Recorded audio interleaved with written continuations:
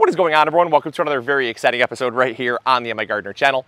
In today's episode, we're gonna be continuing our good bug series here on the channel, and we're gonna be talking about one of my all-time favorite good bugs in the garden, the green lacewing. Let's go. Bad bugs, bad bugs, what you gonna do? What you gonna do when they come for you? Bad bugs, bad bugs. So when it comes to green lacewings, the reason why they're one of my favorites is because they're so versatile in the garden. Now, we're partnering up with Nature's Good Guys for today's episode, not a sponsored episode, just we really want to get this good information out to you guys about using beneficial insects in the garden. And when I was collaborating with them, I said, one of the ones that I have to do is the green lacewing. And I was really happy to see all your comments in the past videos, all of you asking about the green lacewing, because I always ask for feedback on how you're liking these episodes, how you're enjoying the series, and pretty much unanimously everyone said, I love the series, I think it's wonderful to talk about, but I would also love to know about green lacewings. And so uh, that's what we're talking about in today's episode. But it is really an insect that if you could imagine like the Batman symbol up in the sky, like if you have pests in the garden, you just need to put like the green lacewing symbol up in the sky. It is such a versatile insect for that exact reason. So whether you have things like spider mites, aphids, thrips, or if you have things like uh, scale, right? Uh, scale is a really hard-bodied insect that hugs itself close to the bark on trees and um, and other like perennial uh, perennial shrubs and, and ornamentals and stuff like that. Um, really prone to, uh, it's very prone to what's known as gray mold, basically the, uh, the, the sap that they excrete, what's known as uh, honeydew.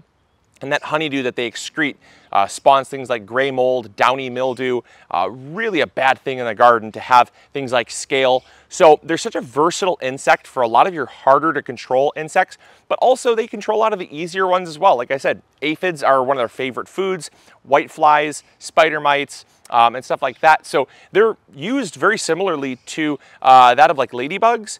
Um, but they're also on some of your more difficult to, uh, difficult to control insects as well. So I absolutely love them. And what's great is applying them to the garden is also really great as well, super easy to do because the fact they're actually native to this region. Um, they're not, uh, you know, they're not like an insect that is very effective but will die off.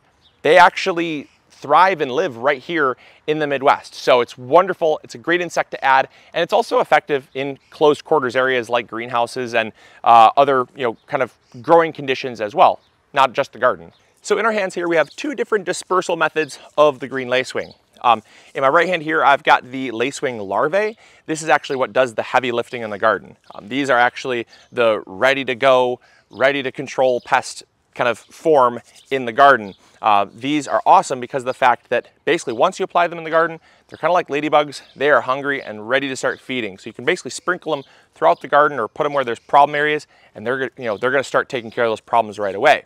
Now, there's a thousand in this little shaker bottle here. But then uh, in my left hand, I have the eggs. Now, uh, I have here 2,500 green lacewing eggs.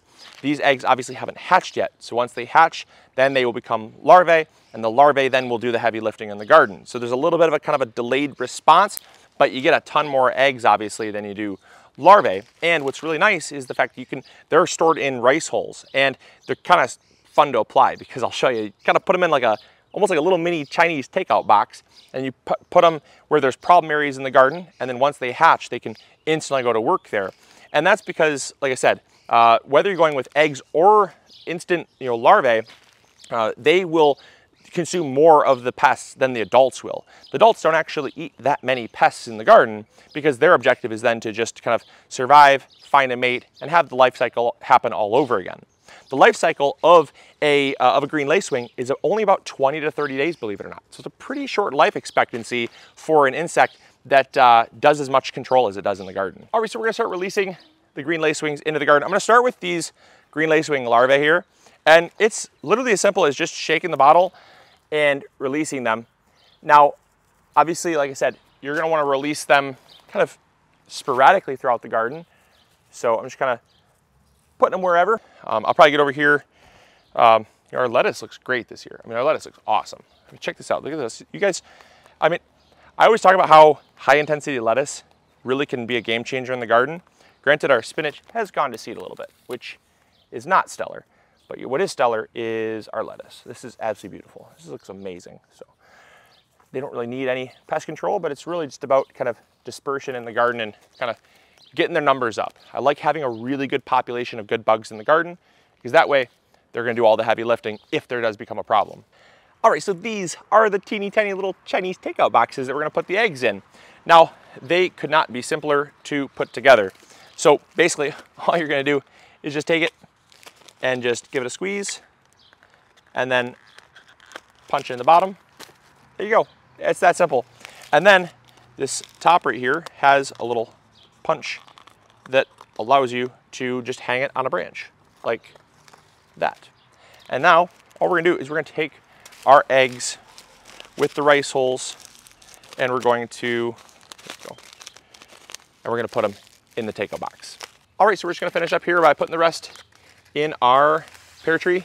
Now, we don't have tremendous pest problems in our trees this year, but it's about having a good population of bugs in the garden. Like I said, it's about being preventative. It's about taking the steps to not only mitigate problems, but also prevent problems that aren't yet a problem, right? Like we don't want the bad bugs to get out of control. And so if there are any, this is gonna ensure that any bad bugs that are in the garden are controlled. Now, uh, much like ladybugs and other, uh, other predatory insects that you're gonna be applying in your garden as beneficial insect control, or I guess uh, beneficial insect bed bug control, um, is that uh, you are going to be giving them a food source with the bad bugs in the garden. If they don't have the food source, they're going to go elsewhere. And so one of the really nice things is that uh, they actually supplied uh, me with one of these here. Now this is the Good Bug Art, uh, Artemia diet. And basically this lasts for up to 10 weeks, like I said. And essentially this ensures that this will feed the green lacewings once they hatch. So uh, this will feed the green lacewings, the Orius, A. cucumeris, and A. swirskii. I'm sure we'll talk about those good bugs in later episodes. But basically, these are little cards here that you can hang and it essentially has a food for them to feed on. Just keep them in your garden, keep their populations growing because if they do have a food source, they're gonna stick where that food source is. So um, you can also give them a little bit of that food. So we're gonna put those up in the tree as well, just kind of near where the eggs are. And then when the adults, uh, when the larvae, or when the larvae turn into adults, they're gonna have a food source. But the final thing I wanna talk about is a food source that you can be growing so you don't necessarily have to use these, you can be growing your own food source. Let's go. All right, so when it comes to planting plants that can actually feed your green lacewings, it couldn't be simpler. Now here we have this dill. Dill's a great example of a plant that once it goes to flower can feed the green, the green lacewings. But any plant that produces an umbel, I absolutely love the smell of this dill. Oh, it's amazing. So not only is it gonna be great in the garden, but it's gonna be great for our green lacewings once it goes to flower.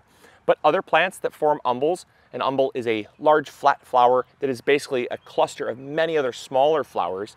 And uh, there are plants like yarrow, um, dill, carrots, or uh, even fennel. These plants produce the umbels, which produce a lot of pollen. They're very pollen-rich flowers. And uh, insects, beneficial insects like ladybugs also really like umbels as well. Um, so you're gonna be attracting multiple beneficial insects by, uh, by growing those types of crops. But there's other crops as well that produce pollen that will attract the green lacewing, or at least feed the green lacewing. And you can also plant flowers like asters. Asters produce a pollen that is very protein rich, which is what the, the green lacewings will feed off of in their adult stage so that they can basically uh, continue to multiply in your garden. Because remember, when the green lacewings are in their adult stage, they don't do a whole lot of consumption of pests. They actually do more consumption of pollen, finding a mate. And once they find a mate, they lay eggs. And once they can lay eggs, then that is where the eggs will hatch into the larvae, which do the heavy lifting in the garden. So it's really about just closing that loop and helping that life cycle be sustained in the garden so they're not going elsewhere. But yeah, there's a lot of plants you can be growing, particularly umbels and asters. Stick to those, those are the best ones. But uh, with that, you can sustain a population of green lacewings in your garden. Super great to have in the garden. Definitely a great one because like I said, they do so many, uh, they control so many different pests where it's a very broad spectrum beneficial insect, which I love.